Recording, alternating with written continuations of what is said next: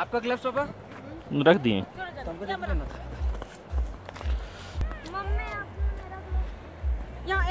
यहाँ ठंडा थोड़ी ही लग रहा है खाली उसका पैर भींग रहा है ना पानी वाला जगह में नहीं जाओ ऐसे ऐसे जगह में जाओ। हाँ।